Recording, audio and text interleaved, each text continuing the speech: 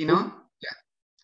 Ya. Pucha, poquito, estamos, estamos en modo, en modo happy hour, parece. Eh, estoy compartiendo pantalla, ¿no? Ya. Voy a compartir pantalla. Eh, estoy compartiendo. No, no he compartido. No, todavía no. Ahora sí. Bien, excelente. Excelente, excelente, excelente, excelente.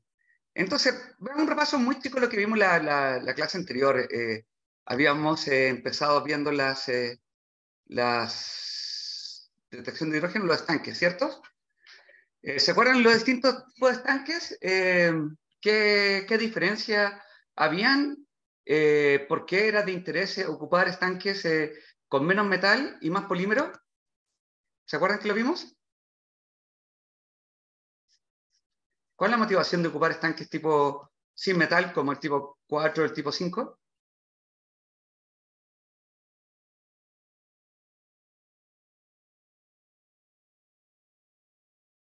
¿Se acuerdan? ¿No se acuerdan? ¿No? Tenía que ver con la electromovilidad, ¿cierto? ¿Es cierto? Si nosotros tenemos estanques sin metal, vamos a tener estanques más livianos. El metal es comparativamente más pesado que los polímeros. Entonces, eh, si tenemos estanques más livianos, lo vamos a poder colocar arriba un auto y moverlo. Eh, vimos eh, los distintos estanques. ¿Este tanque se acuerdan de qué tipo era o no? ¿De qué clasificación era? Tipo 4, dice.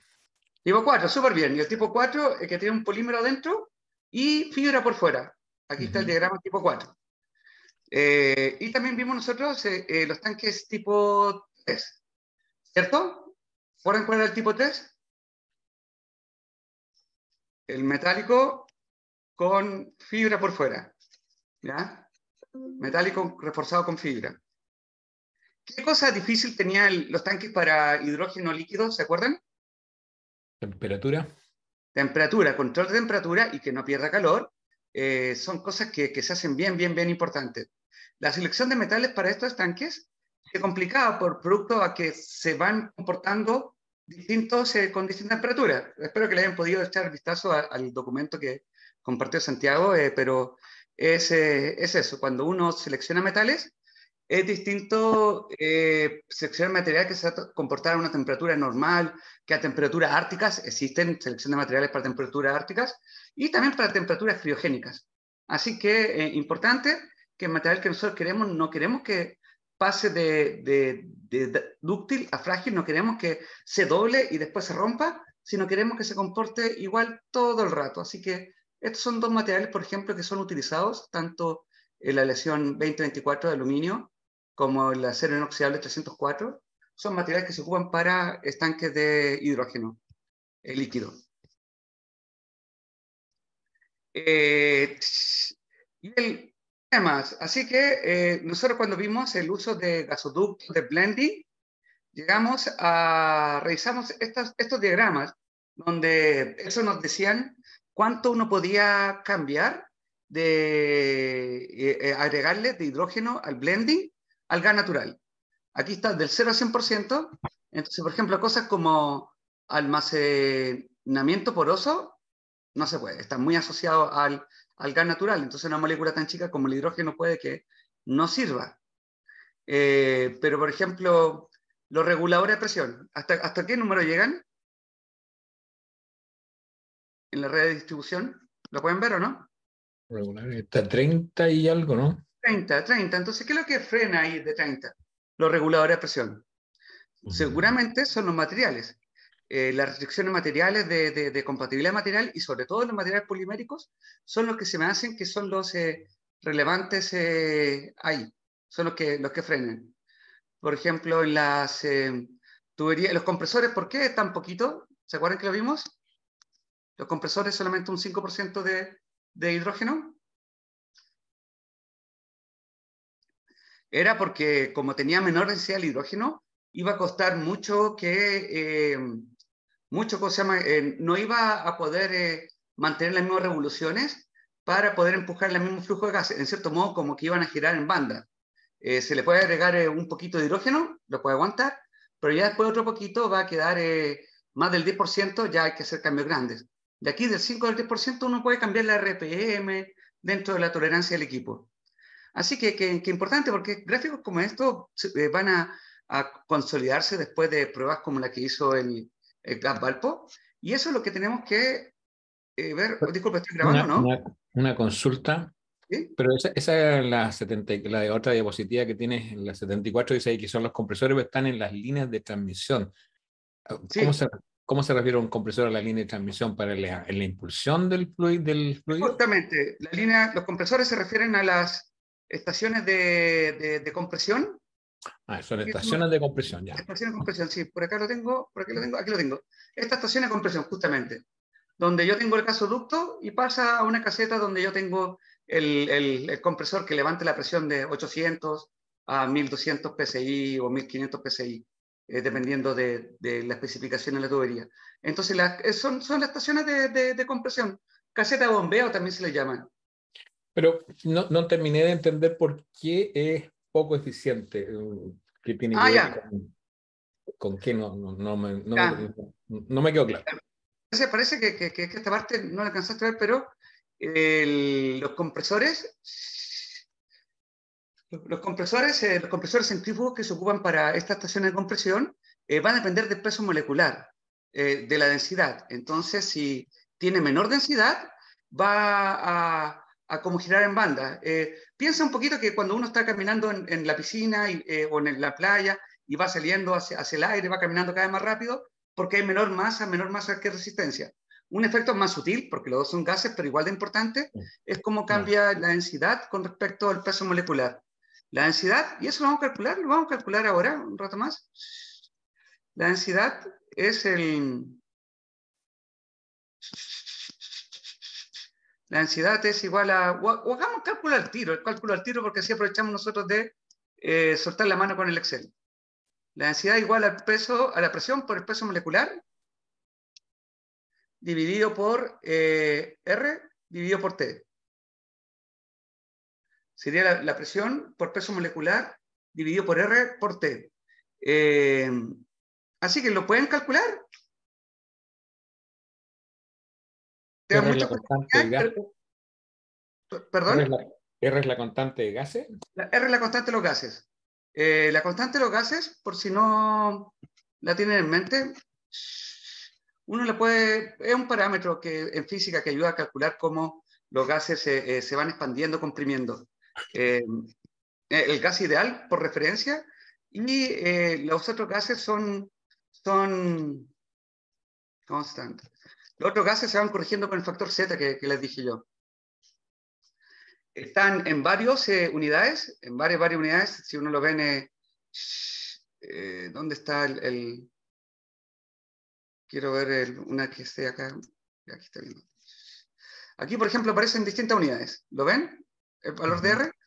Si nosotros queremos calcular la densidad, yo lo ocuparía en, la, en esta, la que está en atmósferas por metro cúbico, por mol, por Kelvin.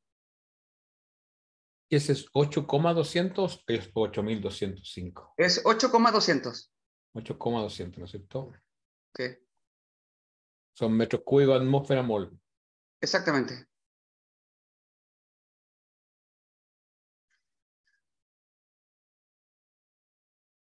Mola la menos uno, cada menos uno. Okay. ¿Lo pueden eh, hacer? ¿Alguien tiene dudas cómo proceder? Lo voy a, voy a, voy a hacer este cálculo en Excel para que, que lo podamos seguir. ¿Les parece? Ok. ¿Les parece o no les parece? A mí me parece. Bien, ya, veamos. Recuerden que como parte de la evaluación vamos, vamos a tener que hacer un cálculo en, el, en Excel.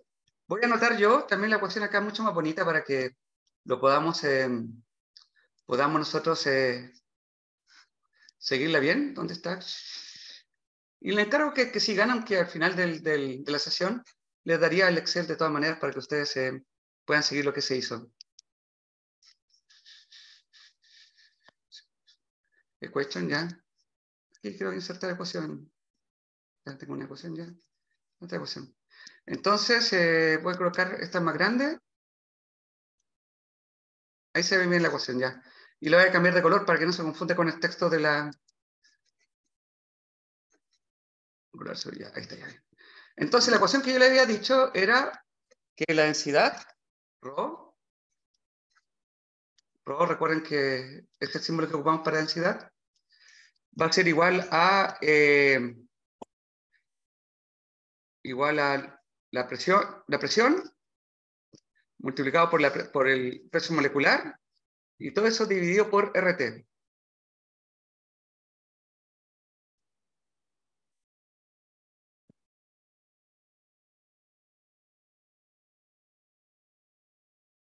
Horre, me quedó muy feo ya.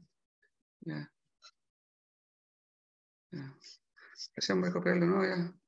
Por peso molecular y todo se divide por RT. Ah, consideremos que la presión, presión de eh, una atmósfera, una atmósfera y eh, la temperatura consideremos 20 grados Celsius. ¿Se acuerdan cuánto es eso en Kelvin? 273. 293.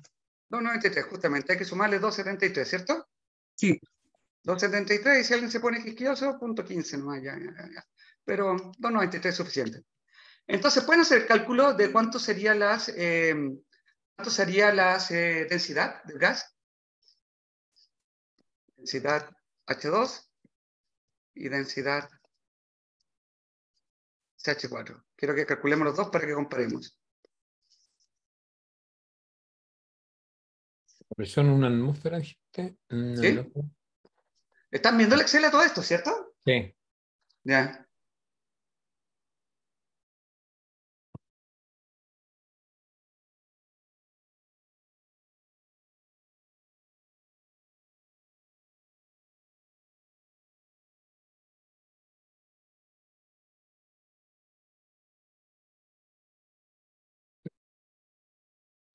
Disculpe, profe, el peso molecular, ¿cuál es, ¿cuánto era? ¿Perdón? El, El peso, peso molecular. molecular.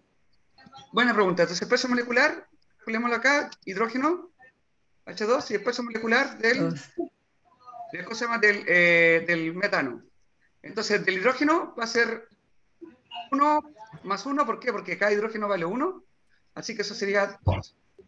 y el, ¿cómo se llama? el peso molecular del, del metano sería 12, el carbono vale 12, más 4 por 1, que sería por cada, por cada hidrógeno, vale 16. Y esto tienen unidades, ¿ya? Tienen unidades. Y las unidades, para que ustedes se coloquen más quisquillosos con las unidades, las unidades, esto es gramo. Estas son las unidades. Y con eso le va a cuadrar las unidades de la densidad. Gramos mol. 573.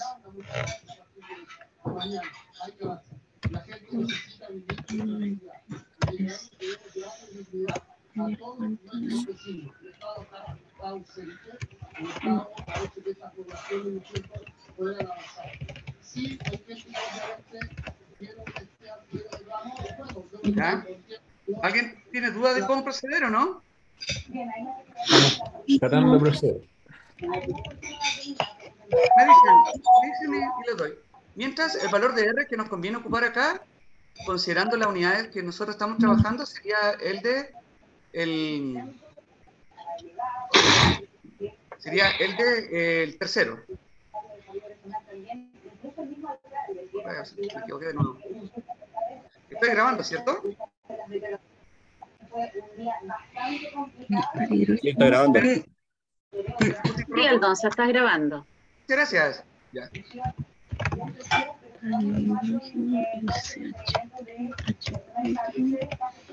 Sería este mm, no, por 16. Recuerden que las unidades son metro cúbico por eh, atmósferas por mol por Kelvin. Ya. Con eso deberían ustedes poder cuadrar qué unidades le darían, ¿cierto?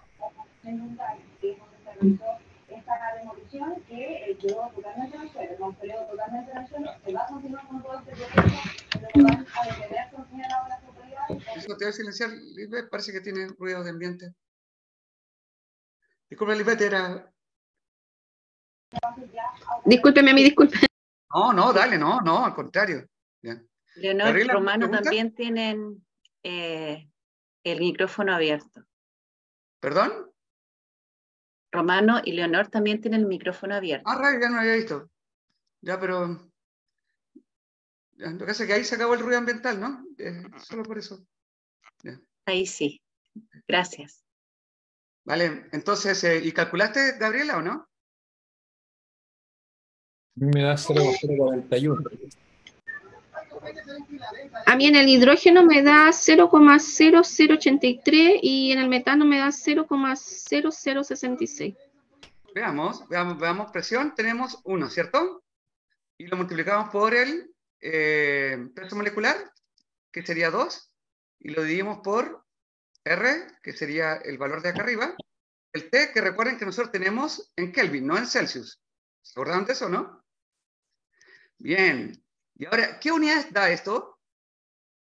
En gramos por metro cúbico, ¿cierto? Sí. Eh, eh, ahora, para hacerlo un poquito más cómodo, eh, convertámoslos en. Convertámoslo nosotros en, eh, en kilogramos por metro cúbico. ¿Ya? Esa es una unidad de, más, más, más accesible para gases. Kilogramos por metro cúbico y sería simplemente la de arriba multiplicado por mil. Y con eso tenemos un valor, 0.83 kilogramos por metro cúbico, que es parecido a la- al que está en el orden de, de magnitud de, de un kilo por metro cúbico, que uno tiene como pensando en los gases más o menos, dependiendo del peso molecular. Ahora veamos el caso del, del metano. ¿Ya? El metano, debería copiar y debería cambiar varias cosas, ¿no? Hoy lo hice mal, ya, voy a tener que hacerlo de nuevo. Sería igual a eh, 1 por 16 por 16 dividido por el R por el T.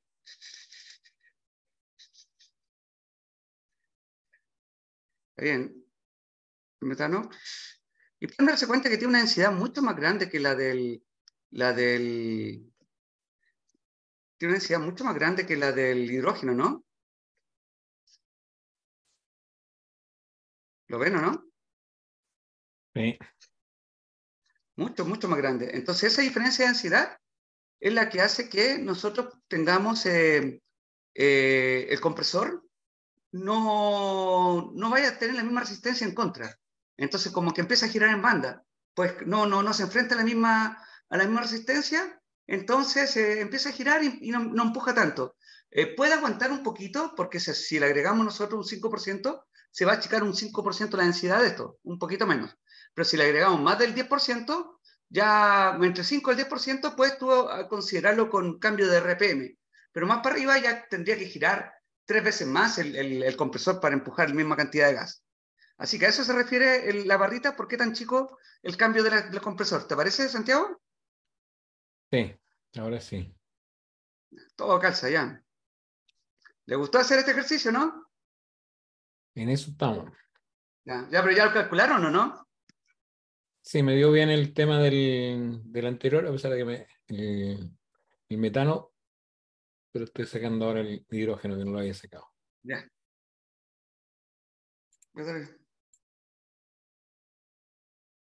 El hidrógeno me da 0,041. ¿Te da cuánto? 0,0041. Mm. Y este te da 00831. Algo estoy haciendo mal. Eh, veamos, eh, eh, por votación, ¿le- ¿alguno le, le repite este número, no? Sí, El de abajo me, repi- me da 06 66 54 8 66 51. Así que algo tengo que no está bien. A mí Ya. me da lo mismo Santiago ¿Lo mismo que a ti o lo mismo que a mí? que a Santiago. Que a Santiago, veamos, eh, eh, ¿qué es lo que yo... Uno por dos, el valor de, de R ocuparon este, el que yo seleccioné, ¿no? 8, como- sí. Sí, 0,053. Y el peso molecular sería 2. Y la temperatura sería... El Eh, peso no. molecular es 2. Ah, sorry, sorry. el de, lo de- el, el de hidrógeno me da igual. El que Ya. cambia el de metano me da otro valor. otro valor. El metano, por a lo mejor por el peso molecular son 16. Puede ser ahí por ahí. Cambiamos un no use 16. ¿Dijiste ahí? Ya. No, Yo había puesto 1 como peso molecular del hidrógeno. Ah, ya. Eh, lo que hace, eso sería el hidrógeno está solo, pero es H2, por lo que preguntaron en la clase anterior por qué le gustaba estar con otro, con otro H. En el caso del metano, ¿alguien le dio lo mismo que a mí o no? A mí me dio Sí, profe, a mí me dio lo mismo. Ya. 675. A mí sí. también. Sí, lo- lo- Sí. Los otros decimales son los que me juegan en contra. Ah, ya, pero casi que ahí puede ser que a lo mejor eh, tipeaste Lo más. tiene que multiplicar por, primero, lo- que la profe le hizo la transformación de gramos a kilogramos, entonces por eso después multiplicó cuando transformó de gramos a kilómetros por mil. Entonces ahí Sí, no, no, disminuyó pero- los ceros hacia la derecha. Pero antes de eso me dio el número. Si me da, el número me da 00083-185. Eh, No sé qué. hay- 183, 185. Puede haber varias explicaciones por por esto. Una, que las versiones de Excel que nosotros ocupemos tengan distintas eh, eh, cifras significativas. Por ejemplo, a lo mejor la mía tiene 16 bits la tuya tiene 32 bits. Muchas veces esos cambios chicos. Pero la otra cosa es que a lo mejor eh, una de estas cifras eh, eh, no, no la transcribimos bien, la del R. sí, no sé, eso estoy mirando, pero. eh, No, pero ya. Pero ah, Pero sí, siga- sigamos, sigamos y de ahí tenemos la oportunidad de revisar. Así que esa es la diferencia de densidad en la que hace de que un compresor tenga que... No pueda, no pueda ocuparse para, para hidrógeno. Eso, pasa en banda, como dirían. pasa en banda, pasa en banda. Y esa diferencia de densidad también hace de que, como el molecular es más chiquito, hace de que cualquier fuga se escape mucho más eh, hidrógeno. Así que son desafíos que vamos a tener eh, nosotros para, para, para la estación de compresión. Y esto, eh, todo lo que nosotros vimos, estaría... ¿Son? ¿Escuché una pregunta? ¿No? ¿No? Ya. Todo esto, lo que hemos visto, es lo que nos ayuda a entender de por qué aparecen estas barritas. Eh, ¿Cuál es la, la, la, la, la razón de ser detrás de cada una de estos eh, eh, barritas? ¿Por qué se pueden ocupar algunos, muchos para, para, muchos para, sin problema para, en el caso que cambie de hidrógeno a, a metano, de metano a hidrógeno, mientras que otros tienen muy restringido, como el caso de los compresores. Solamente una pregunta, Doctora. profesor. ¿Sí? Profesora, disculpe, eh, ¿podría volver un poquito al, al cálculo? Porque tengo una duda ahí en algo, en una- la conversión. Ahí. Eh, sucede que sale esa cantidad en el, veamos el hidrógeno, sale en 0,00831 gramos por metro cúbico, pero resulta que al traspasarlo a kilogramos hay que dividir por mil, porque un kilogramo tiene mil gramos. Eh, un kilogramo tiene mil gramos Sí. un kilogramo tiene mil gramos. O Va a quedar, sí, va- va a disculpa, quedar un me número más chico. Disculpa, no, me equivoqué, que fui para el otro lado, disculpa, me equivoqué. Empecé a pensar en gramos por, eh, por litro, eso. Mil disculpas. Ah, sí, ya, ya, ya. Ahí sí, ahí sí. Me fui yo para el otro lado, en gramos por Claro, litro, ahí y sí. me fui para No, ok. En gramos por litro, y me fui para el otro lado. Mil disculpas, aquí fue error. Muchas gracias por notar el, el, el, el, tema. Por notar el tema. Ahora veamos qué es lo que ocurre si nosotros empezamos a, a- a comprimir esto. ¿ya? Imagina que en vez de, mil, de una atmósfera, estamos trabajando nosotros a eh, 5.000 PSI. Es el target que quiere el gobierno de Estados Unidos para los gasoductos de hidrógeno. ¿Cuánto sería eso de presión? ¿Pueden hacer el cálculo? ¿Se acuerdan cuánto era? ¿Cuánto era, perdón? ¿De qué estamos hablando? ¿Cuántos son? Eh, ¿Cuánto PSI esa, esa atmósfera? El, el cambio de... 14,7 Justamente, hay que dividirlo por 14,7, ¿cierto? y nos Sí. da en bar, que es la atmósfera. ¿no? Ya, Bar, atmósfera están los dos muy cerquitas. Ah, no me equivoqué aquí. No.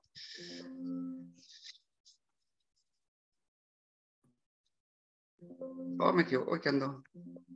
Esto, que me tomé un solo café en la mañana ya. Ahí está, ya, ahí está. Bien. Entonces serían 340 atmósferas. ¿Pueden ver como que se hace mucho más denso?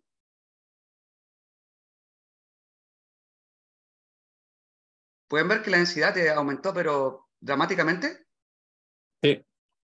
Entonces, por eso es la motivación que tenemos nosotros de cambiar de eh, hacer los gasoductos con la mayor presión posible. Romano, cuéntame.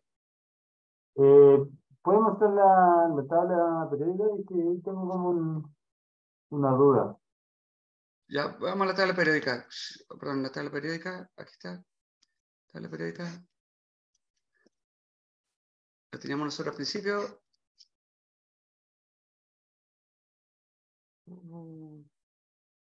Disculpe, está cargando. Ahí está. Todos los que están ahí reportados son los tamaños del- de los metales en, en Armstrong. Entonces no, no son, no, no es el peso molecular. Ya. ¿Quieres eh, ver la tabla con el peso molecular, con el peso atómico? No, sí, parece que ya encontré una, una tabla eh, donde eh, el carbono salía eh, con 12, parece. No, 16, 12. ¿Sí? Y con el hidrógeno ahí da 16, ¿no? Sí, Justamente con los cuatro de hidrógeno. Eh, si ven la, la tabla periódica, el numerito acá, este es el, el orden, y este numerito que está al lado, el peso atómico. El 12,0 en el caso del hidrógeno, pues claro, es 1, pero el peso es un poquito más de 1. En casi todos los compuestos es como el doble, en casi todos. En casi todos, ¿por qué? Porque esos tenían neutrones, y no sé si se acuerdan que, que los neutrones también pesaban, pero en el caso del hidrógeno eh, es, eh, no, casi, casi nunca tienen neutrones. Ya. ¿Te parece? Bien. Continuamos eh, con, la, con, la, con la revisión está genial. eh. Paso para, para, para ver conceptos. Eh, entonces es importante que nosotros ahora podemos internalizar nosotros eh, eh, eh, relaciones como estas, como por qué el diámetro cambia tanto si es que nosotros cambiamos la presión. Si cambiamos la presión un, eh, un montón, vamos a tener menor, eh, menor densidad y al tener menor densidad vamos a necesitar menor diámetro. Así que es, se, hace, se hace relevante esto. Habíamos estado viendo los tanques, estamos viendo blending. Ahora pregunta, pregunta para ustedes. Eh, ¿Por qué la protección catódica no tiene limitación? ¿Alguna idea? Idea. ¿Se neutralizan o algo así? Eh, lo que pasa es que esto es por el material y se aplica por fuera, entonces eh, no, no importa mucho. El, el gas de adentro es relativamente inerte, el de afuera, donde está el aire, el gas, el, el, el aire, el que tiene oxígeno y es el que hay que protegerlo, entonces está pensado en eso. No, no, hay, no, hay, no, hay, no hay cambio con respecto a eso. Es lo mismo si, no es idéntico, pero lo mismo si dijeran, oye, hay que cambiar los eh, apoyos de las tuberías cuando pasa, pasa eh, sobre colgando. No, no hay que cambiarlo porque esa es parte estructural y no, no está en contacto con o no interactúa con la parte del hidrógeno. Así que que, que es importante tomar estas, eh, estos eh, datos y internalizarlos. Eh, internalizarlos. Eh, seguramente cuando empezamos a ver blending va a aparecer esto, pero mucho, mucho, muy seguido. Profe, ¿Sí? yo no me acuerdo mucho de química, entonces eh, me imagino que la biblioteca digital puede, puede haber un librito de, de química así como recomendable. Eh, lo que pasa es que depende qué es lo que, eh, a qué nivel quieres eh, aprender.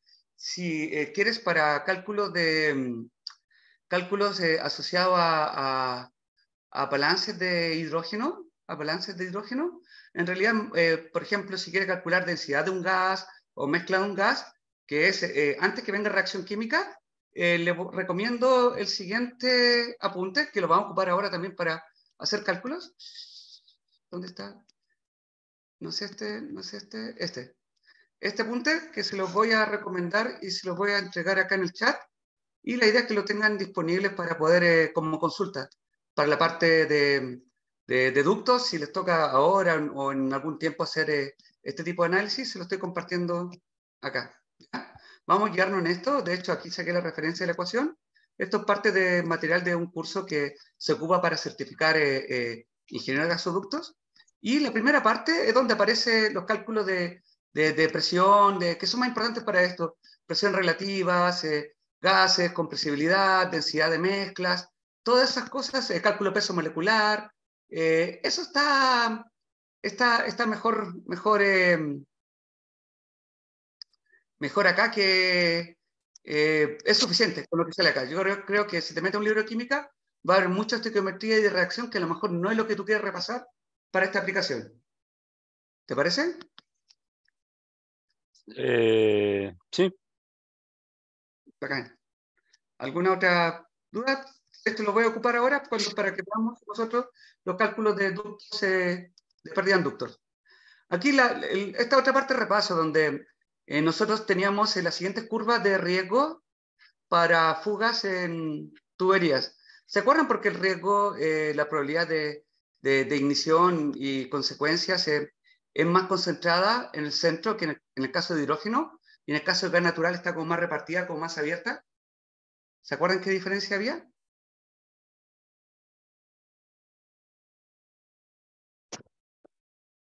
Eso Ya, por ¿qué- la difus- difusividad del, del hidrógeno. La difusividad del hidrógeno, pero en realidad más que nada tiene que ver con la bollantez del hidrógeno. Como el hidrógeno es más liviano, tienden a levantarse. Entonces, no se, eh, va a quedarse menos eh, ag- ag- agolpado afuera, como el caso del gas natural. El gas natural se, va a quedar agolpado afuera, se va a quedar así concentrado acá afuera y se va a, empezar a distribuir. Sí, se va a distribuir y va a subir, pero no al nivel que lo que ocurre con el hidrógeno, que es como mucho más liviano, va a terminar saliendo todo hacia, hacia arriba. Esto solamente ponía para que lo tengamos en mente de que la inspección y la presión de riesgo en caso de de instalación de hidrógeno va a ser diferente. Así que eh, le digo siempre a mis colegas que, que se dedican a seguridad de combustibles, pues claro, la revisión de normas asociadas a hidrógeno que se viene va a ser grande. Eh, otro tema, la, ¿se acuerdan que habíamos hablado del, de las de blending? Y la última parte es que nosotros eh, eh, vamos a querer muchas veces identificar y separar el hidrógeno del metano. Si nosotros hacemos blending, le inyectamos en, la- en la- en el gasoducto, tenemos la línea de transmisión, vamos a tener nosotros una mezcla de hidrógeno con metano y vamos a querer separarla. Y para eso separarlo ocupamos dos tecnologías. Y esas dos tecnologías las discutimos en la clase anterior y había uno que los tenía, uno de ustedes, Fernando parece que era, que lo tenía justo afuera de, de o Francisco era, eh, justo que lo tenía justo afuera de, de- de- de su lugar de trabajo. ¿Eras tú? Sí, No, Francis. Bien, excelente. ¿Le comentaste a tus colegas que estabas justamente revisando esto en el diplomado? sí, justo, justo le estaba comentando. Bien, sí, que ahora, dijeron que cualquier cosa que necesitábamos, eh, ganar algo, no sé, del del proceso, ningún problema. excelente. Como hay- alguien sugirió en el chat visita industrial, pues, ya, ya. Yo me nota encantadísima. Eh, bueno, eh, ahí eh, espero que, que te haya quedado un poco más, eh, eh, o haya contribuido a- a cómo tú veías el, el proceso de separación de hidrógeno. Eh, ahí en tu planta tenían solamente absorción o también tenían membranas? Por absorción. Por absorción solamente, ya. Eh, muchas veces uno combina estos dos y sobre todo si nosotros tenemos eh, mezclas donde el hidrógeno va a venir muy diluido, como el caso de blending. En el caso de, de- donde parten, por ejemplo, de, de hidrógeno a partir de procesos eh, asociados a refinación de petróleo o por electrólisis, sale mucho más pura, entonces la purificación puede ir solamente con absorción. Pero en este caso estamos partiendo algo que es un 5%, de un 5 a un 15% hidrógeno, el resto gas natural, entonces se hace eficiente tener de las dos. ¿Se acuerdan cómo funcionaban las membranas? Las membranas era un material, muchas veces es, es- es paladio. El paladio deja pasar el hidrógeno. Deja pasar la estructura cristalina justo para que el hidrógeno se disocie y deje pasar de largo y una vez que pase de largo por el paladio, va y se une de, nuevo. Mientras que la absorción, ¿a qué proceso doméstico se parecía? Muchas gracias, Lisbeth. Estoy atenta al link. Himmelblau, excelente, súper súper buen libro. Muchas gracias, yo no lo, no lo había accedido todavía. Eh, ¿a qué, eh, qué- ¿Se acuerdan a qué equipo o qué cosa doméstica se, eh, se parecía a la operación de un equipo de absorción?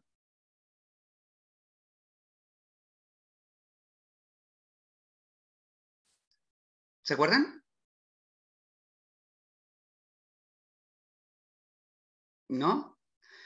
Ya se parecían a eh, los cartuchos de carbón activado para filtrar el agua. Es algo muy parecido porque nosotros tenemos una matriz sólida que se va contaminando y se agarra todas las impurezas que uno no quiere en el agua, en el agua y todas las sales que uno no quiere que lleguen al agua. Y eh, una vez que, es el, agua, en este caso sería el gas, pasa a lo largo del cartucho, sale el agua limpia, en este caso el hidrógeno, eh, donde nosotros ya podemos recuperar. Estos procesos, eh, le habíamos mencionado de que el cartucho no dura hasta infinito, se va eh, contaminando, entonces hay que recuperarlo, hay que regenerarlo.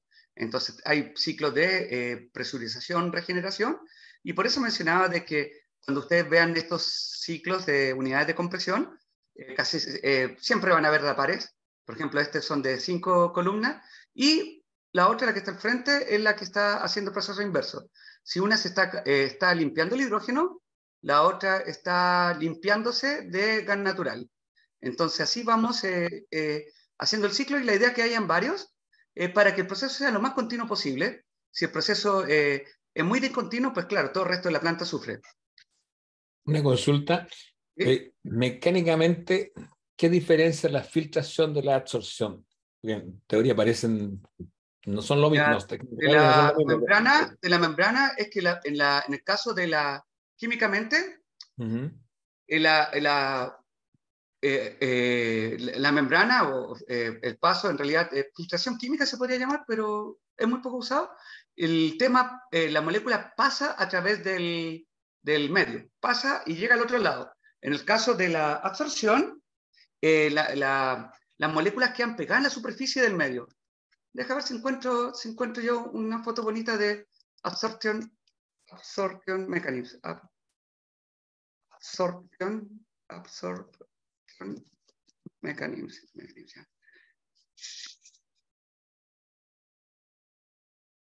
De hecho, si vieron la película, eh, película uno de los físicos que aparece ahí como villano, el, el, Teller, hizo mucho sobre la teoría de esto. Entonces, en este caso, en el de absorción, las moléculas quedan pegadas, pegadas como el caso de acá, que teníamos nosotros, por ejemplo, este carbón activado. Eh, estas eh, eh, moléculas son de gas natural, y estas moléculas de gas natural van a quedar pegadas en la superficie producto de la afinidad. Muchas veces tiene que ver con atracción electrostática, con absorción física o alguna otra interacción. Entonces, eh, eh, el hidrógeno no va a querer quedarse pegado, va a pasar de largo, pero las otras moléculas eh, más pesadas, como el caso del CO2 o el caso del metano, van a quedarse pegadas porque van a ser más fácil que se traigan por la superficie del material. El carbón activado, saben ustedes que el carbón activado es una, eh, es un sólido que tiene mucha superficie, ¿cierto? ¿Alguna han tomado carbón activado en la mano? No, pero nos decían el otro día que no sé cuántos metros cuadrados era. y de hecho, si uno lo toma, es muy liviano, muy, muy, liviano, y es como si tuviera eh, un gramo de estos, tiene el equivalente de superficie en una cancha de fútbol. Son como 600 metros cuadrados por gramo, eh, uno de calidad intermedia. Hay muchas mejores, entonces el entrar en ocupar carbón activado para estos eh, sería, eh, se ocupa porque tienen mucha, mucha superficie, o, y otros materiales como ceolitas o arcillas también se ocupan porque tienen demasiada superficie. Entonces, al tener demasiada superficie, uno eh, ocurre esto, ocurre esta absorción. En, la, en esa absorción entre las moléculas que son más pesadas, quedan pegadas, mientras que las son más livianas, como el hidrógeno, siguen de largo. No sé si han visto que hay gente ahora que ocupa eh, carbón activado para lavarse los dientes, lavarse la cara. ¿Lo han visto, no? ¿No? Sí. Eh, sí, eh, eso, eso está, está de moda. ¿Por qué? Porque como tienen mucha superficie, la conjetura todavía no está bien documentado, es que al tener mucha superficie vayan a, a sacar los desechos o las impurezas que uno tiene en los dientes y dejarlos más blancos, más puros, por lo mismo que, que la cara. Bueno, eh, esa es la diferencia a nivel químico. Interesante pregunta. Eh, si nosotros vemos un poquito más cómo funcionan los equipos, los equipos de, membrana, más que ser eh, una membrana o como un filtro, como si fuera una placa, son como rollitos, como un pergamino enrollado, son como, como varias fibras donde por un tubo interior pasa el gas que se va distribuyendo y el tubo exterior sale, se, sale el gas natural en el lado de alta presión y en el lado de baja presión sale hidrógeno. De esa manera nosotros vamos, eh, eh, vamos obteniendo eso. Si nosotros tenemos eh, mucha presión en este lado, en el lado interior de la membrana, donde están las dos moléculas, es, va a perder mucha presión al salir y por eso el lado de hidrógeno va a ser el lado de baja presión. Mientras que en el caso del, del CO2, eh, le aplicaba este, este ejemplo de que para el carbón activado, cómo es afín, qué tanto se quieren posar arriba de las superficies, el metano, el hidrógeno y el CO2. Pueden darse cuenta de que hay una diferencia muy grande de, de varios eh, eh, decenas entre la afinidad del hidrógeno con la afinidad del metano. esto hace de que cuando nosotros queramos limpiar, limpiar vamos a querer agregarle presión, le vamos a agregar presión, entonces nosotros vamos a tener que el hidrógeno, que el, ¿dónde quiero rayar? ¿Quiero rayar? ¿Dónde puedo rayar? Estoy buscando rayar. Ahí está. Si nosotros le metemos eh, mucha presión, por ejemplo, estamos trabajando en este, vamos a tener que al final del ciclo, la cantidad de CO2 va a estar a este nivel. Perdón, la cantidad de metano va a estar a este nivel. Pero si después nosotros lo despresurizamos a, a una atmósfera, la cantidad de metano va a estar a este otro nivel. Entonces, todo este metano, esta diferencia que está acá, es la que se va a recuperar eh, producto del, del soplado, es la que se va a recuperar en el proceso del, del soplado del, del, del, filtro. Hoy me quedó re feo, iba a ser un delta, pero me quedó feo. Ahí está ya.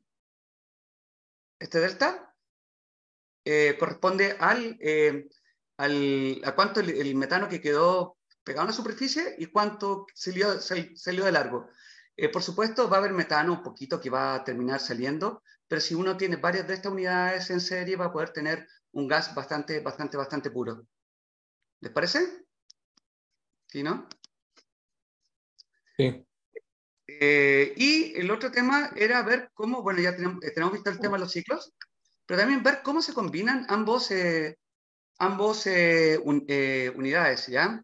Cómo se combinan el, los dos, el de membranas con el, con el de absorción para poder eh, eh, separar. Como decíamos en la clase anterior, los de absorción, el equipo clásico es el PSA, el Pressure Swing Absorption, donde una unidad, como les decía yo, está a alta presión para que el hidrógeno pase de largo y otra unidad se está despresurizando para liberar el CO, el, el metano. Entonces, una está obteniendo, está purificando hidrógeno y la otra está eh, despresurizada, eh, liberando metano, y así se van. Por eso el nombre de Pressure Swing Absorption PSA, la traducción en español sería eh, absorbedores de presión basculante, pero eh, todo el mundo lo llama PSA, ¿cierto? ¿No lo has escuchado así? Sí. Entonces, eh, por ejemplo, en este gráfico, el color rosado indica una simulación de, por ejemplo, cómo lo hacemos nosotros en el caso de blending. Eh, tenemos un 95% de eh, de gas, eh, un 25% de gas natural, de gas natural, de metano, un 4% de hidrógeno y un 1% de CO2, a 51 bar. ¿Ya? Eh, un poco para también soltar la mano, eh, hagamos el cálculo de cuántos moles están entrando, eh, están entrando en la tubería, en la tubería, ¿ya?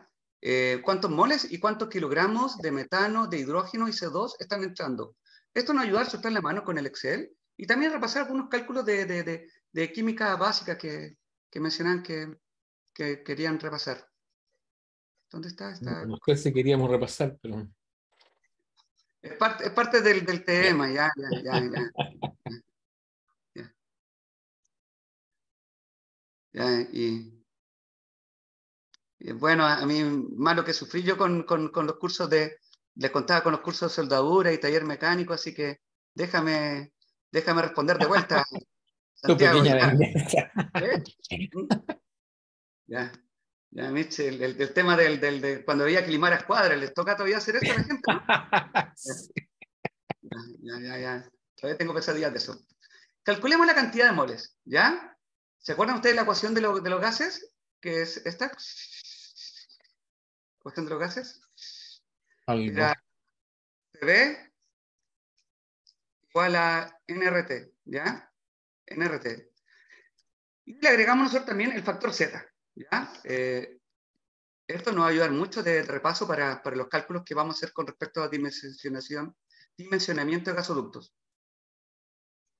Si nosotros queremos calcular la cantidad de moles que están pasando, en realidad sería el flujo molar, porque nosotros acá tenemos caudal, Así que el modo correcto sería agregarle el puntito arriba.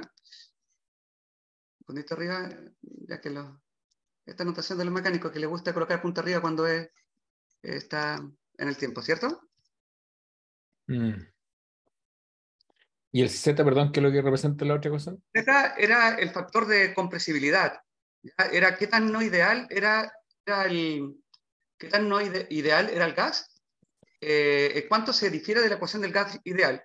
No tenemos nosotros Z, nos queda ecuación gas ideal que ustedes conocieron en, en, en, en química, en introducción a la química. El Z es la justificación que tenemos los ingenieros químicos para un semestre entero de termodinámica, donde enseña a calcular el Z de muchas maneras. En el documento que les compartí, eh, aparecen algunos eh, mecanismos para, para calcular el Z. Eh, ¿Dónde está acá? Está este, ya, para calcular Z. ¿Dónde está? Z, Z, Z, Z. Eh, es la compresibilidad del gas a una dada presión y temperatura. Eh, ese factor de compresibilidad se puede calcular de disti- distintos eh, eh, modos. Hay, hay algunas eh, ecuaciones que permiten eh, estimar este, este Z. Hoy, deja ver dónde, dónde la, la vi. Recién la vi. Recién la vi, recién la vi. Recién la vi. Aquí aparece, aquí están, por ejemplo. Hay ecuaciones que permiten calcular el, el el el factor de compresibilidad de un, de un gas natural. Eh, son ecuaciones que esta es como la más simple. Hay otras que aparecen para el caso del hidrógeno, pero hay tablas también que uno puede consultar. Pero para efectos de la evaluación de este curso, eh, vamos a ocupar el gráfico que les entregué con los valores de Z, ¿se acuerdan? ¿Que vimos este gráfico? ¿Se acuerdan o no? Más o menos. Sí, sí me acuerdo. Bien, ya. Ya, eh, de hecho, sí, uno, una parte fuerte del precio cuando uno compra un simulador para calcular eh, gasoducto de hidrocarburos eh, es, es el, eh, los modelos que tienen para calcular este Z, qué tan exacto, qué tan bueno es. Eh, para metano, hidrógeno, es relativamente simple, pero se coloca muy complejo cuando son mezclas, cuando tenemos eh, eh, alcoholes va- va- vaporizados, uy, ahí ya es todo, todo, todo un tema. Empezamos a trabajar en la ecuación y continuamos después del break, ¿ya? Ok. ¿Les parece? Sí. Veamos, yo tengo, eh, voy a tomar esta ecuación y voy a despejar el n, ¿ya? Porque es el que me interesa calcular cuántos moles están pasando. Uno por lo eh, debería, estrictamente hablando, considerar cuántos moles, eh, ¿por qué no me deja pegar la ecuación? ¿Por qué no me deja pegar? No me deja pegarlo ya. Te voy a tener que escribir n y colocarle un puntito. Voy a que escribirlo de nuevo, mil disculpas. Equation, ¿dónde está? Ahí está. N, y esto sería, eh, si despejo el n, ¿qué es lo que me daría? Sería PB dividido por ZRT, ¿cierto? Cierto. Sería P por B punto. B punto le coloco para colocarle el por hora. Recuerden que el punto arriba eh, significa cuando hay un flujo, flujo en el tiempo. Y aquí le coloco ZRT y borro ahí. Bien, entonces hagamos este cálculo. Este cálculo para cada, cada uno de las... eh, cada uno de los, eh, de los elementos que están allá, ¿ya? Eh, la presión son 51 bar, el volumen lo tenemos en metros cúbicos, eh, la temperatura, dejar qué temperatura tiene el sistema, si aparece ahí o si no, yo le doy una temperatura. Mm, No aparece, consideremos a, a temperatura ambiente eh, 200, ah, disculpen, son normales. La- las condiciones normales se refieren a una condición muy específica, ¿se acuerdan o no? Las condiciones normales se refieren a eh, una atmósfera y Presión. 293. Claro, sí. Y, ¿ya? Así que como están reportados en condiciones normales, eh, tenemos que nosotros hacer cálculo considerando las condiciones normales. ¿Quieren ustedes empezar a hacer cálculo o prefieren que yo lo empiezo y ustedes me acompañen? Entonces la presión sería una atmósfera y la temperatura es 293 Kelvin, ¿no? 293. ¿sí? Ya. El valor de R No, no, sería... no aplican los ¿lo sigue 51 acá? bar. Y el valor de Z, estaríamos nosotros cercanos a una atmósfera, y el valor de Z lo podemos considerar 1, está muy cerca de una atmósfera. ¿Cierto? Sí, se puede considerar. Excelente. Eh, calculemos cuántos moles. ¿Pueden empezar a calcular ustedes o prefieren eh, que yo lo calcule y ustedes me, me acompañan?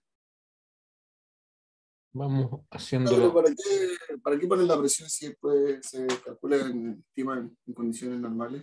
Lo que hace la presión en este, en este ejercicio, eh, en este ejemplo, está, está dada para que consideren cuánto es la pérdida de presión en la línea. Por ejemplo, si yo paso a través de la membrana, eh, una buena parte del gas me va a quedar a una presión muy bajita. Después, si lo paso por, la, por el PCA, a una presión más baja. Entonces, pueden tener que calcular un compresor que eleve la presión para toda esa energía y ese gasto de energía lo voy a tener que considerar cuando haga el balance económico acerca si me conviene purificar o no. Está para eso. Sí, no, lo que voy yo era de que eh, ¿para qué salen los 51 bar? Ah, es para, es para eso, para que cuando va- vayamos siguiendo el caso, podamos ver las pérdidas de presión que hay por los equipos. Eh, por ejemplo, el, el gas que no se purifica por la membrana sigue a 51 bar, el que pasó por arriba del filtro, por decirlo así. Mientras que el que pasó por el filtro cayó a 6 bar, o sea, muy chiquito. Después el que pasó por el PCA, más, más liviano todavía. Entonces, si yo tengo esta línea con 51 bar, que es la línea de gas natural, voy a tener que levantar la presión del gas natural que limpié a los 51 bar para que se presurice y el gas entre y pueda alimentarlo a la línea. Para, para ese análisis. No, no me cuadra. Lo que pasa es que, ¿por qué después la fórmula yo ocupo una atmósfera? Ah, la fórmula, tú ocupas una atmósfera. ¿ya? ¿Por qué la calculo en Porque- base a una atmósfera si me está dando la otra, la otra presión de, Ya, por- de la línea? porque las condiciones normales, para evitar, para evitar de que, de que, la- de que el volumen del gas cambia mucho dependiendo de la presión y temperatura. Entonces, para estandarizarlo, uno dice, oh, vamos a hablar de presión normal y temperatura normal. Van a ser muy diferentes a las eh, condiciones de operación. Y las condiciones de operación, eh, eso también vamos a analizar ahora. ¿Cuánto cambia la densidad producto de las condiciones de operación? En las condiciones normales es como un estándar. Si tú ves las facturas de gas eh, eh, industriales o cuánto o compras cilindros, te van a decir, oye, viene tantos metros cúbicos normales. Es una manera de que nosotros tenemos media simplificada de referir a cuántos kilos de gas o cuántos moles de gas. En, estrictamente hablando, deberíamos decir moles de gas, pero como eh, sobre todo los que no están tan cercanos a la química, eh, prefieren, quedan más cómodos con el concepto de metro cúbico normal. Ok. Es, es, una, es un, un cambio de lenguaje que se hace para que, que, que- que se pueda comunicar de mejor manera. Yo feliz que todo, como ingeniera química, feliz que todos hablen con mol, pero eh, eh, fuera de los procesistas muchas veces no, no, no llega tan directo.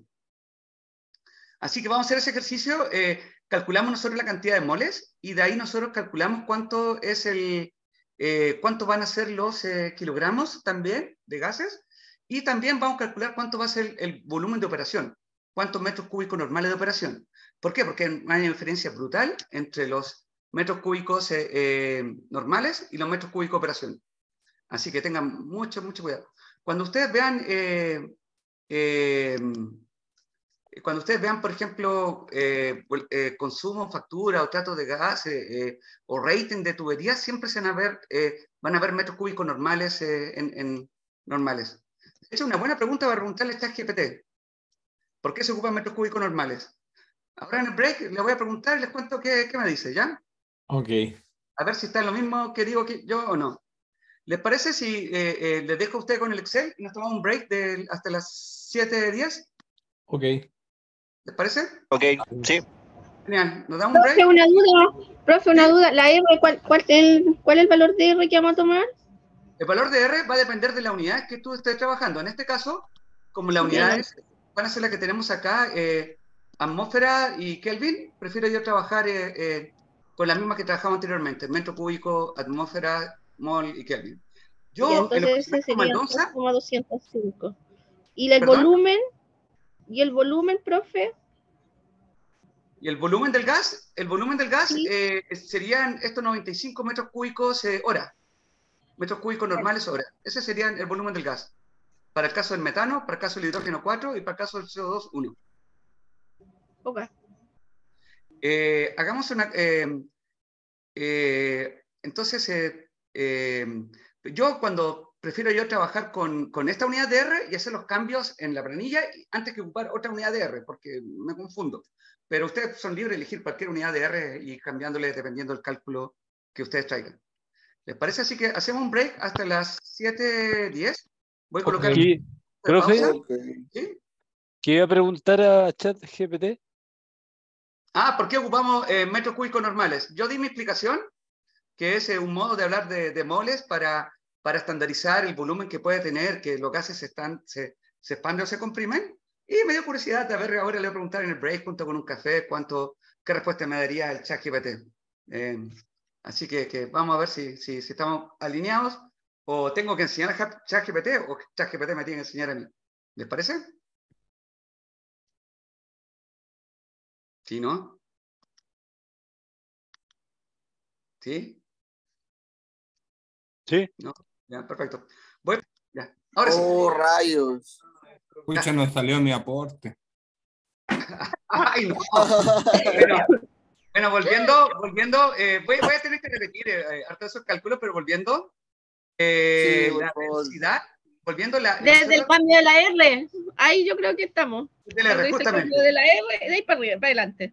Hicimos nosotros, eh, nos dimos cuenta de que el valor de R había que corre- corregirlo y le faltaba un día elevado menos 5 al valor que habíamos escrito de, de 8,2, eh, eh, 8,205.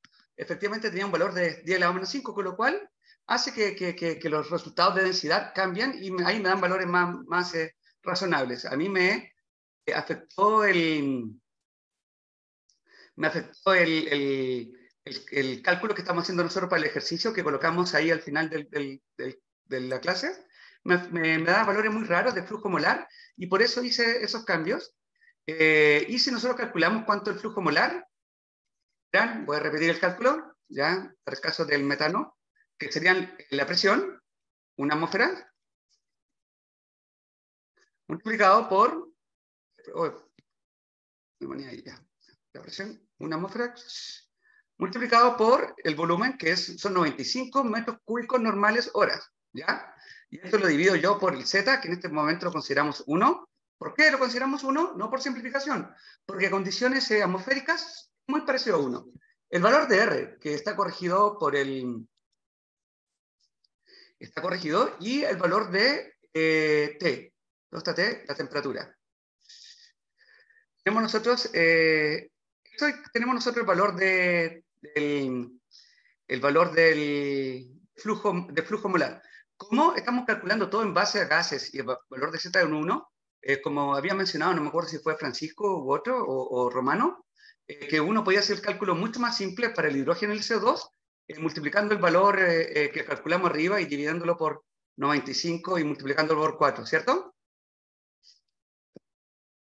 Ese fue Carlos Gómez, profesor. No. Pues Carlos, uy, ya, ya. Ese, ese tipo de, de- de- de cálculo de balance ayuda mucho a resolver eh, eh, rápidamente, rápidamente casos de, cambio de, de hacer, hacer, cálculo de gases bastante rápido. De hecho, es algo que se enseña en los cursos de, de balance de materia, como el libro que aparece el Hindenburg que compartieron, eh, promueve el uso de ese tipo de herramientas. Ahora volvamos. Si nosotros tenemos flujo eh, eh, másico, nosotros queremos flujo másico, queremos ir de flujo molar, molar, multiplicado por el peso molecular. Simplemente eso. ¿Ya? Y ahí es donde empieza a cambiar. Voy a borrar yo esto, el cuadradito de ahí. Y aquí es donde empieza a cambiar, ¿ya? Le voy a esticar la letra para que caiga acá en la pantalla. Ahí está. Entonces, ¿podrían calcular ustedes cuánto sería el flujo, el flujo másico? Tendríamos que nosotros tomar cada uno de estos y multiplicarlo, por ejemplo, estos 3.951, multiplicarlo por 16, que era el peso molecular del metano, y metano. Algo importante, si nosotros trabajamos las unidades, vamos a tener nosotros mol por hora multiplicado por el peso molecular, que está en eh, gramos por mol. Entonces, eso nos va a resultar que las unidades que vamos a terminar teniendo son gramos por hora, ¿cierto? ¿Siguieron esa parte o no? Era peso molecular por el. ¿cierto? Sí. peso molecular. Entonces, eh, peso molecular, y para hacerlo más, eh, eh, voy a calcular el- el- la cantidad de gramos por hora que hay de cada, de cada uno, en base al peso molecular de... Este era de cuánto, de hidrógeno, que era 2. De hecho, el, el- el libro que compartí, por ejemplo, es un, un texto, pero muy ocupado para, para enseñar este tipo de cálculos. eh. No sé si a alguno de ustedes le tocó estudiar con ese. Gracias a Dios, no. A mí sí. Excelente, ¿eres ingeniera química? Sí, Excelente. ¿De qué, de qué institución? de la Universidad de la Frontera. Genial, genial, genial, genial. Genial. Entonces, em, eh, solamente para, para, para hacer una pausa, em, ¿reconoces estas ecuaciones aquí? ¿Se ven o no? ¿O no, no se ven? No se ven, no se ven. ¿La, la ven o no? Ya. Yo tengo anotadas ecuaciones de, de transporte de materia, de fenómeno de transporte, de, eh, tatuadas en los brazos, eh, para cuando me pegue la memoria, la falta de memoria, poder eh, responder así rápidamente. Entonces tenemos los distintos, eh, eh, los, los distintos, ¿le, le, le- le- le dio estos valores o no? 6.320, sí. Ya, bien. Ahora 63.000, pasémoslo pero- nosotros a kilogramos por hora, ¿ya? Kilogramos por hora es bien fácil, hay que dividirlo por mil, ¿cierto? Entonces vamos a tener kilogramos por hora. Y con eso podemos ver eh, cuánto, cuánto cambio. Entonces, cuando nosotros eh, hablamos de eh, gases, cuando hablamos de gases, eh, el volumen de un gas va a depender, va a depender del, el volumen de un gas va a depender de la cantidad de moles. Así se dan cuenta que si nosotros tenemos misma presión, misma temperatura, aunque el gas sea metano, aunque el gas sea eh, CO2, sea hidrógeno, cualquier gas, siempre y cuando que el Z siga, siga siendo uno, eh, hablar de gas, eh, hablar de moles y hablar de metros cúbicos normales es bastante intercambiable. Entonces, es un modo de tener algo, eh, un lenguaje común, más conceptual, que ayuda a eh,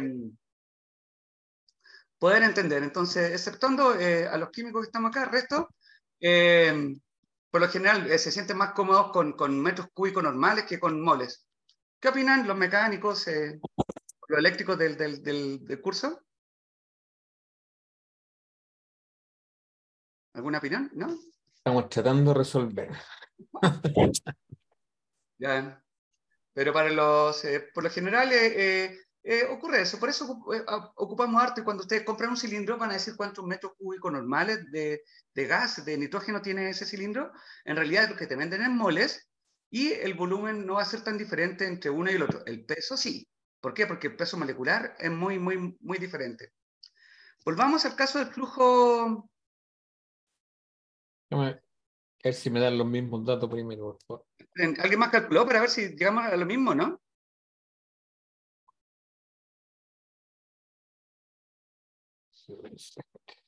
A mí me da lo mismo. Sí, Ya, 1,- genial. 1,8033, 6 63,2. Súper. Ya bien, excelente. Entonces tenemos los kilogramos, eh, los kilogramos por hora. Ya, eh, ahora otra cosa, nosotros tenemos ahora los flujos eh, para condiciones normales. Eh, ¿Qué pasa si nosotros quisiéramos ver flujos en condiciones de operación? ¿Ya? Eh, y ahí uno que ocupa mucho, mucho, mucho, ahí tengo una pregunta en el chat. Todo bien. Muchas gracias, Carlos. Eh, ahí tengo una, tengo una pregunta, un- acá en el, voy a, la, la ecuación está en, el, en, el, en la PPT. Quisiera mostrar la PPT mejor para no reescribirla. Ya. Si nosotros queremos cambiar de condiciones normales a condiciones de operación, ese cálculo es eh, bastante, bastante, bastante directo. Entonces, eh, esta, esta ecuación que viene a partir de la, de la ecuación de los gases ideales nos ayuda a entender si es que nosotros eh, queremos ver cuánto va a cambiar el caudal en condiciones normales a condiciones de operación. Para eso tenemos que resolver lo que está acá. Hagamos el ejercicio de ver cuánto el, el cambio en, en el caudal. Para hacer un cambio de caudal en condiciones de operación, no tenemos que hacer mucho, no tenemos que hacer mucho más, eh, no tenemos que resolver y calcular el R, simplemente haciendo, eh, tomando la misma ecuación y dividiéndola por la misma, uno con un poquito de álgebra puede conseguir estos resultados. Así que ocupamos esta ecuación para poder calcular cuánto sería el caudal de operación. Estamos hablando de metros cúbicos normales, entonces ahora yo quiero ver cuántos metros cúbicos voy a tener en las condiciones de operación. Esto va a ser muy importante porque cuando calculemos nosotros el gasoductos, vamos a tener, em, vamos a tener condiciones de flujo, eh, vamos a tener, va a ser muy diferente la cantidad de flujo que nosotros vamos a, a tener. Entonces, si nosotros tenemos las condiciones de operación, estas serían condiciones normales y ahí colocar condiciones de operación. Operating.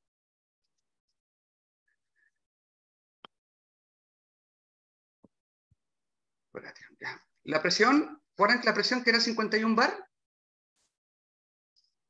Para este ejercicio, ¿se acuerdan o no?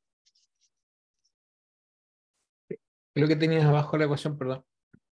Ah, eh, abajo tengo, esta, ecuación tengo yo para, para calcular cuánto sería el caudal. Este Q, el caudal en condiciones normales, serían estos 95 metros cúbicos normales, versus el caudal en condiciones de operación. ¿Cuánto sería el, flujo en condiciones de operación en las condiciones de, presión y temperatura al cual está operando el gasoducto? Sabemos que va a ser mayor que una atmósfera, pero eh, la temperatura puede variar, puede variar ¿Qué temperatura ustedes considerarían que operaría un gasoducto acá en la quinta región? idea. Si está enterrado, yo consideraría que 13 grados es una buena, una buena cifra para, para un valor así como, como, como conjetura considerando un gasoducto enterrado. ¿Les parece? Ya. Entonces serían 273 más 13 grados, ya. Es para no repetir. Entonces, si yo quiero calcular cuánto sería el flujo en metros cúbicos de operación, hoy se me olvida el, se me olvida el, español, es operación. Operación. ahí está. El flujo metros cúbicos normales, excelente, metros flujo, excelente, excelente. Tenemos nosotros acá, eh, sería en condición de operación. Flujo metros cúbicos por hora. Entonces tenemos que repetir este cálculo, tenemos que hacer este cálculo. ¿Lo pueden intentar hacer ustedes o no? Vamos a ver. Ya, empiecen y yo lo estoy atenta para cualquier asistencia.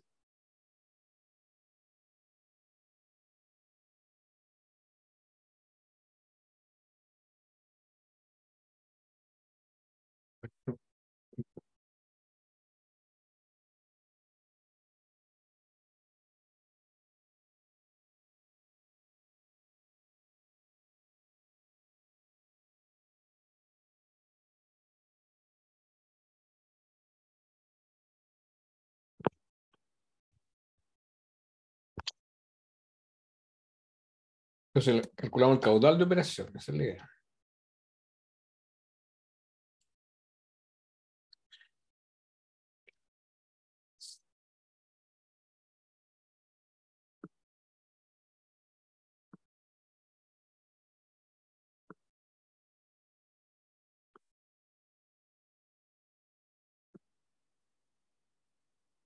Profesor, una consulta. Eh, Ahí usted en, la, las condiciones de operación, la temperatura, ¿consideró 13 grados Celsius o no? Sí, 13 grados Celsius, eh, me equivoqué, lo multipliqué, no sí, está, sí, había eso, ya. Tenemos condiciones competitivas con lo que ocurre en, la superficie, en la superficie del Sol. Son como 5.000 Kelvin, aquí estamos como 3.000 Kelvin, ya. Eh, veamos, veamos, veamos. Algo que tenemos que nosotros ver cuánto vale el Z en las condiciones de operación. ¿Cierto? El valor de Z, ahí puede que cambie un poquito. Veamos en, en, la, en, el gráfico de acá. Si estamos nosotros considerando con 50, el Z del hidrógeno sería prácticamente 1, el del CO2 sería eh, 0,8 y el del metano sería como 0, sería como 0,97, ¿cierto? ¿Les parece, no? Con las condiciones de presión distintas. la condición de presión, justamente. ZH2, Z metano, Z metano es CH4. Y el Z, el Z eh, CO2. Entonces el Z va a ser eh, igual a, eh, este va a ser a 1, el del metano va a ser, ¿cuánto? El, el metano, ah, el metano es la línea morada, me confundí con la línea morada, por aquí debería ser como 0,8, 0,8, ¿sí? Y el, eh, y el, más, y el CO2 va a estar por acá abajo, va a estar por acá. Debería ser 0,55, ¿no? Por acá. O 0,5. ¿Conocíamos 0,5? 0,5. Hay maneras mucho más rigurosas de calcularlos. Pero esa manera mucho más rigurosa de calcularlo no siento que valgan la, la pena en este, en este momento. Eh, yo les recomiendo que mm, cuando ustedes compren un simulador para calcular gasoductos que tengan que evaluar, eh, o pueden encontrar eh, planillas online que permitan calcular el valor de Z también. Hay, hay, hay, hay planillas, pero, pero es todo un tema en, porque las ecuaciones se, se complican mucho, mucho, mucho, mucho. De hecho, es un semestre de termodinámica para pura esa cuestión no ya. Oye, como no digan eso a, a, mis colegas termodinámicos ya. Entonces tengo yo este valor de Z, ya. Eh, ¿Qué es lo que ocurre? Eh, el gas, la, la, ecuación de gas ideal, sin el Z, con Z igual 1, considera que los gases eh, no se eh, molestan, no se molestan ni tienen volumen. Pero a medida que, a medida que se llama que los, eh, ni interactúan entre ellos, ni las moléculas interactúan entre ellos, pero a medida que yo lo aprieto, que yo lo empiezo a apretar, lo empiezo a apretar, empiezo a apretar, empieza el efecto de que tienen volumen, empieza a ocurrir porque empiezan a chocar más entre ellos, y también el efecto de interacción entre ellos empieza a hacer más importante. El hidrógeno eh, no baja casi porque eh, el efecto de interacción entre las mismas moléculas de hidrógeno es muy débil, como son muy chiquitas y están bien equilibradas, mientras que el CO2 es una molécula ya más compleja, empieza a haber mayor interacción. Por eso explica la bajada. La subida viene por el lado donde ya empiezan a aumentar los choques entre, entre, entre las mismas eh, moléculas. Eh, calculemos entonces cuánto sería el caudal del de, flujo, el flujo en condiciones. Voy a borrar acá y aquí voy a colocar los valores que voy a calcular. Sabemos que el Z en condiciones normales es 1, por eso lo eliminé de abajo, o si no, también debería tener Z en condiciones normales. Entonces este debería ser 95, sería ser 95, ¿cierto? Multiplicado por el Z, multiplicado por la presión normal, que sería 1, multiplicado por la temperatura de operación, que serían 286, dividido por la eh, presión de operación, 51. 51 bar y atmósferas son, eh, el factor de, es muy cercano a 1, así que no hice la multiplicación. ¿Están de acuerdo? Y la temperatura uh -huh. normal que es 293. ¿Lo vieron ahí o no? ¿En medio cambio? La temperatura, ah, la temperatura normal tendría que ser aquí ya. Sí, la temperatura normal es 2.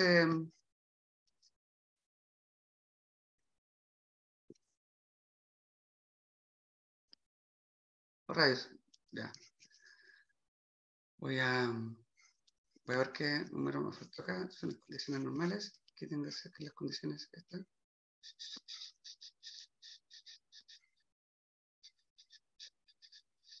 Y arriba también me faltó. Arriba también me faltó, también me faltó, también me faltó.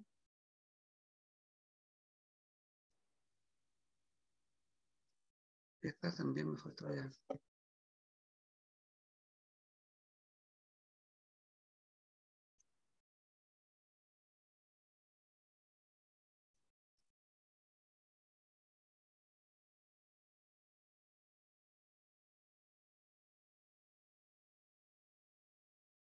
¿Ya les dieron esto, estos valores o no?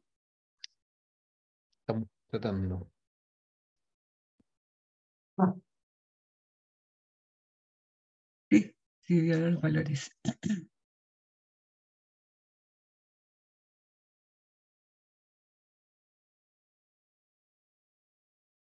Así que de la UFRO, ¿cómo lo, es, eh, ¿y dónde estás ahora? ¿En qué parte geográficamente?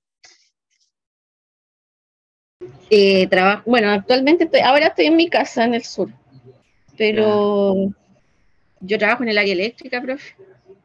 Ah, ya. Ya, eh, Después no es la única. otra. He conocido, he conocido eh, químicos que, que van a la eléctrica. eh, está en el sur, Sí. pero casi que para, para nosotros los de Valparaíso, el sur comienza en Rancagua, entonces. Ya, incluso antes San Francisco Mostazal lo consideramos sur. No, yo vivo ahora en trabajo, o sea, vivo en la en Los Ángeles, en Los Ángeles es la cordillera. Allá, genial. Sí. Pero ahí no crecen digüeñas, ¿no? Sí, pues, estamos al ladito de la cordillera, pues. Me encanta, eso, eso, eso me encanta porque como no se pueden exportar, eh, eh, los, cada vez que viene un amigo o cada vez que ando por allá, aprovecho a comprar porque no, no crecen, me gustan harto. Harto, harto, harto. Sí, son ricos con huevos, profe. 1,47 medio milla, pero bueno. Ah, usé 50,33. 47. Es que usé 1,5 eh, 50,33 atmósferas, hice la conversión. Ah, ya, ya, ya, ya, ya. Perdón, ¿Cuánto es la conversión? 51 Un poco. multiplicado por cuánto? Ese me dio 50,33. O sea, habría que dividirlo por 1,03, ¿cierto, no? Claro, por un bar es 0,98 ATM o un ATM es 1,0133 bar. 0,98, ya. Ahí vamos. 0,98 debería ser un poquito más, ¿o no? 0,98 69,2. 0,98, 69, 2, ya. Ahí está, bien, ya. Excelente. Ya. Eh, ¿Vieron? Entonces ahí, ahí tenemos resultados eh, eh, consistentes. Vean que cambia demasiado, demasiado, demasiado, demasiado los metros cúbicos normales en condiciones de operación. ¿Ya? Eh, harto, harto, harto, harto, harto. Entonces, si nosotros vemos eh, estos números, eh, Estos son metros cúbicos hora, ¿no es cierto? Estos son metros cúbicos hora, sí. Sí, y metro cúbico hora es como poquito, es como poquito, eh, y uno puede pensar en que realmente eh, eso explica por qué los gasoductos no tienen diámetros tan, tan, tan grandes como uno podría creer.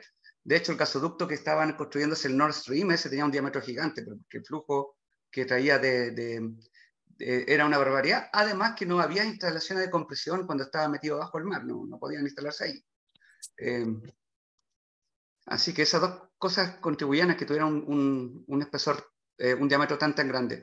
¿Les quedó claro estos cálculos? Por ejemplo, para la evaluación, ¿podrían repetir estos cálculos o no? Eh, si está en el Excel disponible, sí. No, pero pues, que, que lo hagan así. Eh, Tú también haces pruebas, Santiago, así que uno siempre inventa eh, pillería ya. Ya, pero volvamos al... al eh, volvamos. En realidad, lo que interesa y lo que vamos a ver en el próximo taller, lo voy a revisar efectivamente si hay este cambio de, de- de- de horario, porque si consigo yo asegurar eh, eh, una instalación eh, eh, cercana al aeropuerto para, para conectar bien a clases, podría, podría hacerlo. Así que que deja, lo confirmo acá en el fin de semana si es que voy yo o me reemplaza Claudio. ¿Ya? Lo que vamos a ver nosotros ahora, a partir de la próxima, es ocupar eh, la ecuación de flujo para calcular cuántos, eh, cuántos, eh, eh, cuántos, ¿cómo se llama? cuántos, el, cuánto caudal puede pasar por una tubería o cuánto, qué tan largo puedo yo tener una tubería sin tener estación de compresión. Por ejemplo, un asunto muy, muy, muy, muy clásico que uno tiene cuando tiene estación de compresión es que eh, eh, la va perdiendo presión. Sabemos que a perder presión, los gases eh, se van expandiendo. Los gases se van expandiendo. Entonces, ¿qué, ¿qué presión uno debería ocupar para como presión promedio dentro de un gasoducto? ¿Ya? Por ejemplo, imagina que yo tengo, voy a dibujar, imagina que tengo un gasoducto. Quiero dibujar acá donde está el, para rayar. Y esta es la última fórmula que le enseño hoy día. Imagina que tengo un gasoducto y está entrando a, ¿cuánto? Coloquemos que entra a 80 bar, 80 bar, 80 bar, y sale a 50 bar. ¿Ya? Eh, si fuera un líquido, nosotros podemos calcular que la presión promedio es simplemente eh, 65 y podemos nosotros tener, eh, podemos nosotros calcular, eh, calcular eh, eh, eso, tomarlo como, como base para calcular densidad del gas, para calcular cuánto sería el caudal, cuánto sería el caudal de operación. Pero en el caso de, En el caso que se llama de gases, se coloca un poquito más complicado y la presión promedio de los gases, se la voy a escribir ahora, se me olvidó escribir esa, esa, esa ecuación. Eh, voy a abrir otra, plan- eh, otra hoja en Excel y voy a copiar de nuevo la, la fórmula. Entonces, eh, ya. la presión promedio se calcula como presión de entrada dividido por presión de salida. Sería presión promedio. Eh, yo voy a colocar average, eh, ave por average en inglés. ¿Les parece? Sí. ¿Ya? ¿Dónde está? Voy a colocar más símbolo de ecuaciones. ¿Dónde está? Estoy con la verdad. ¿Algunos de ustedes extrañan la enseñanza online o no? De Mm, online cuando les tocaba, ¿no? Ya. Bueno, pero si esto hubiera sido presencial, muy difícil que podríamos juntado todo el mundo todo- por todas las sesiones. Le va a parecer un poco intuitivo, pero tiene razón. ¿Ya? Eh, y va a ser dos tercios, ya no es un medio, eh, dos tercios. Y va a ser esta división. La presión de entrada, la voy a llamar P eh, in. Esta presión va a estar elevado al cubo. ¿Ya? ¿Qué le pasó? Me equivoqué ya. Voy a volver a escribir.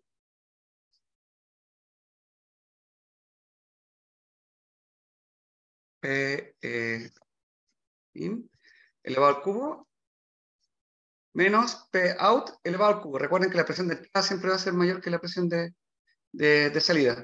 Hay algunos casos de excepciones cuando hay cambio de cota muy grande y hay expansión en caso de gases, eh, compresión en caso de gases, pero los casos menos. Out elevado al cubo. Y todo esto dividido, todo esto dividido por Ay, ¿por qué no me deja escribirlo? ¿Por qué no me deja copiarlo ya? Voy a tener que copiarlo. Todo esto dividido por lo mismo elevado al cuadrado, ¿ya? Así que colocar P in elevado al cuadrado menos P out elevado al cuadrado. ¿Lo pueden calcular en estos cinco minutos que nos quedan? Ups. Pero hagamos un cálculo bastante simple. Esto nos va a ayudar a entender qué tan diferente es la eh, presión, presión promedio.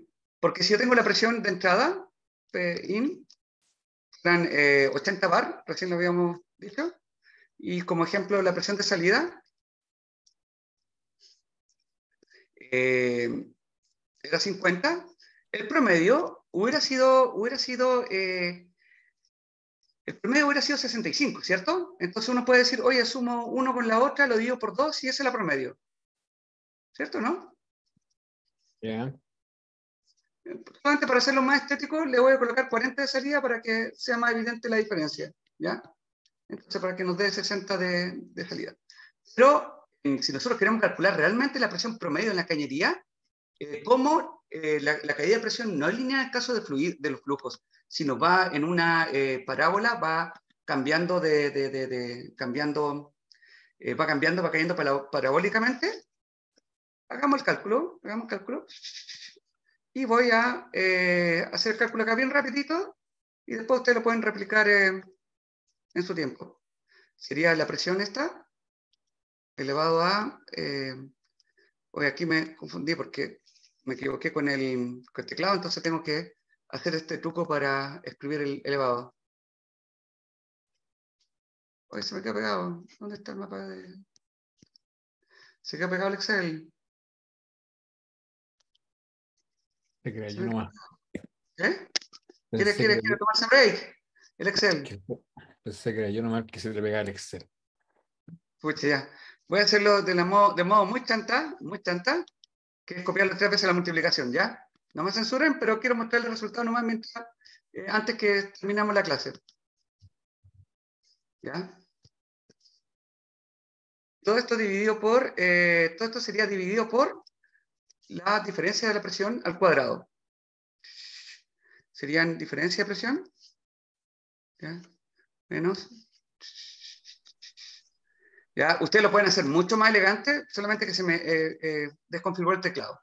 Bien, pueden ver que hay una pequeñísima, pero eh, no despreciable diferencia entre la presión promedio de una cañería, eh, de un ducto, si uno lo calcula eh, ocupando la, el, el- los términos de expansión de gases, a que si uno lo calcula con el promedio simple. Eh, eso es algo que lo, quiero que lo tengan en mente. Y es algo de que cuando vemos nosotros eh, el cálculo de tuberías y queremos saber cuánto es la densidad promedio, cuánto es la condición, eh, la densidad promedio dentro de la tubería, tenemos que hacer cálculos pensando en esta presión. No la presión del promedio aritmético, sino la presión del promedio de, eh, del flujo de gases en una tubería. Esta fórmula la notan que no la, no la he incluido. Y voy a hacer lo siguiente ahora para que no se me olvide, voy a guardar esto y lo compartir en el chat para que lo descarguen. ¿Les parece? Ok. Sa- Save, eh, OneDrive, OneDrive personal, no lo voy a colocar acá en, en ya, documentos. eh, le coloco eh, taller M, MS, eh, MS03, M03 para módulos 3, eh, eh, ¿qué significa bar? ¿Bar? ¿Mm? ¿No? ¿Tú sabes? Bir, bir Arkun Rom. Ah, eh, ¿cómo se deletrea? Eh, be- beer, a beer de cerveza, alcohol room. ¿Verdad? Si de ahí viene el, el- el- el- término de bar para, para el bar que uno toma o el bar de la unidad. Ah, es el bar que uno toma. qué buena, qué inspirador, qué excelente. Ya, ya, ya, ya. Y, otro viene del griego el baros. Ya, poche, ya que, que, que, que erudito. Y muchas gracias por la contribución. Me encanta saber estos datos. Capaz que en algunos años más yo te lo cuente a ti como si yo lo supiera. yo lo supiera. Ya, ¿Cómo se llama? Se llama M. Ahí está. Ah, tengo que, que cerrarlo. Tengo que cerrarlo ya. Y ahora lo puedo enviar. Ahí envía el Excel, así que lo descárguenlo mientras. eh, eh, descárguenlo todos, ¿ya? ¿Ya? Y voy a dejar de grabar. Dejar de grabar. Ahí lo escribiste ya.